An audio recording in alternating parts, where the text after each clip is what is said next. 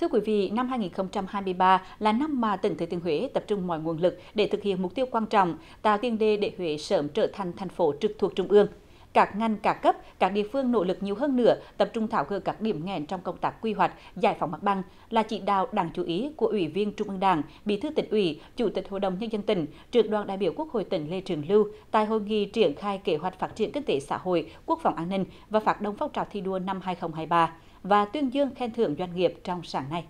Dự và chủ trì hội nghị còn có Chủ tịch Ủy ban nhân dân tỉnh Nguyễn Văn Phương cùng các đồng chí trong Thường vụ tỉnh ủy, Hội đồng nhân dân, Ủy ban nhân dân, Ủy ban Mặt trận Tổ quốc Việt Nam tỉnh, đại diện lãnh đạo các sở ban ngành liên quan và các doanh nghiệp tiêu biểu. Phát biểu khai mạc hội nghị, Chủ tịch Ủy ban nhân dân tỉnh Nguyễn Văn Phương nhấn mạnh, năm 2022, bên cạnh những thuận lợi cơ bản và những khó khăn, thách thức đang xen,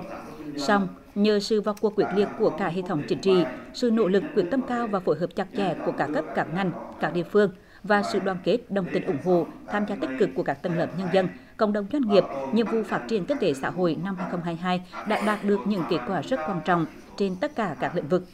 Báo cáo về kế hoạch phát triển kinh tế xã hội của Phó Chủ tịch Ủy ban nhân dân tỉnh Nguyễn Thanh Bình cho biết, năm 2023 là năm có ý nghĩa hết sức quan trọng Tỉnh xác định đây là năm tăng tốc, tạo bứt phá trong phát triển kinh tế xã hội, đẩy nhanh tiến trình xây dựng và phát triển Thừa Thiên Huế trở thành thành phố trực thuộc trung ương theo nghị quyết số 54 của Bộ Chính trị. Dự báo nền kinh tế tỉnh nhà sẽ còn tiếp tục đối mặt với rất nhiều khó khăn, thách thức từ những hạn chế nội tại và các yếu tố khách quan chi phối. Song, tỉnh tiếp tục đặt mục tiêu phấn đấu năm 2023 tốc độ tăng trưởng GDP đạt từ 9 đến 10%. Để thực hiện mục tiêu này, tỉnh đẩy nhanh tiến độ lập cả quy hoạch, đề án, hoàn thiện các thủ tục, các bước trong tiến trình chuẩn bị hồ sơ đề án đưa cả tỉnh thành thành phố trực thuộc trung ương.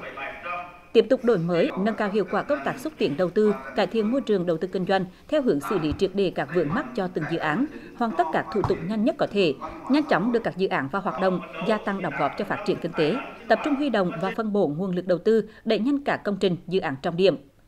Sau khi nghe ý kiến góp ý từ các địa phương, doanh nghiệp, phát biểu chỉ đạo tại hội nghị, Bí thư tỉnh ủy Lê Trường Lưu nhấn mạnh, năm 2023 là năm hết sức quan trọng, năm bản lề của kế hoạch phát triển kinh tế xã hội 2021-2025 là năm tỉnh xây dựng các đề án trình chính phủ quốc hội đưa cả tỉnh thành thành phố trực thuộc trung ương.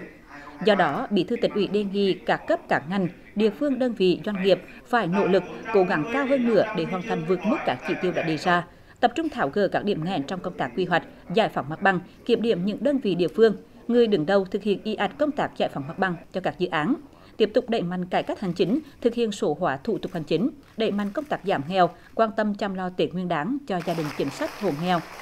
Tại hội nghị lần này, Ủy ban nhân dân tỉnh đã tổ chức ký kết biên bản liên tịch thực hiện nhiệm vụ quốc phòng an ninh năm 2023 phát động phong trào thi đua và trao cờ thi đua cho 62 cơ quan, đơn vị, doanh nghiệp trên địa bàn có thành tích xuất sắc trong phát triển kinh tế xã hội địa phương.